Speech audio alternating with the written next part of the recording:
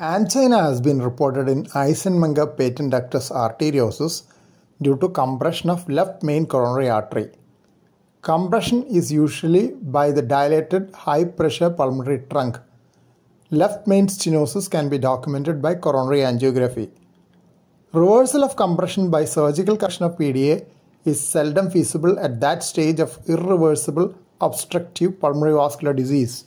Relief of symptoms by stenting of left main coronary artery in patients with Eisenmenger PDA and angina has been reported.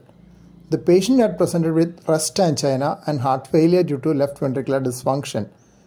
Left main stenting produced immediate relief of angina. They chose a bare metal stent with good radial resistance to prevent extrinsic compression by the systemic pressure in the pulmonary artery, which had caused extrinsic unidirectional compression. Six month follow up with multi slice computer tomography documented patent left main coronary artery in intimate relation to dilated pulmonary trunk. Angina in Eisenmenger PDA is less likely to be due to right ventricular ischemia compared to other forms of Eisenmenger syndrome.